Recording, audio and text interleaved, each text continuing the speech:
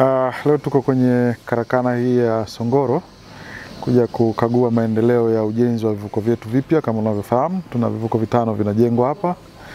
Uh, na kwa kweli maendeleo ni mazuri, tumeridhishwa na maendeleo. Mara ya mwisho tulikuwa hapa mwezi Mei ambapo kivuko kama Buyagu Mbarika kilikuwa kwenye asilimia 45.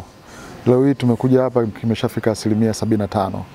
Uh, kivuko kama Nyakarilo Kome kilikuwa kwenye asilimia 60 na chenyewe sasa hivi kimefika kwenye asilimia 75. Kwa hiyo tunamshukuru sana mkandarasi, anaendelea kupambana kuhakikisha kwamba kazi inasogea, na kwa mujibu wa mpango kazi uliopo tunategemea kwenye kuanzia mwezi wa tisa hivi vivuko vitaanza kuwa vimekamilika, kila kitu kikienda kama tunavyopanga. Kwa hiyo kwa kweli tunamshukuru sana mkandarasi, anaendelea kupambana kuhakikisha kwamba kazi inaenda kwa- kama ilivyokusudiwa. Kwa wastani wa vivuko nimetaja hivyo viwili, Biagu Mbalika na Nyakarilo Kome viko kwenye wastani wa asilimia 75, lakini Bwiro Bukondo, Jinga Kahangara na Kisora Rugezi kwa wastani viko kwenye asilimia 85. Hivi vimesogea zaidi yeah. Ya, mi naitwa Meja Songoro, mkurugenzi mtendaji wa Songoro Marine.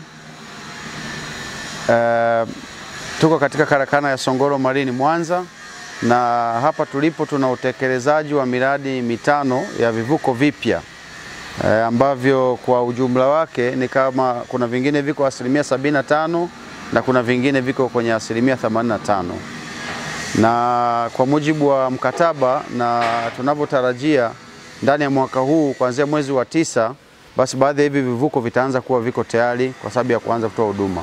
E, tuna- tunashukuru sana uh, serikali yetu kwa kutupa fursa hii kama kampuni ya wazawa Songoro Marine na kutupa dhamana ya kutengeneza vivuko, na tunashukuru sana na tunaahidi kwamba tutakamilisha kwa wakati na kwa mujibu wa mkataba ulivyopangwa. Yeah.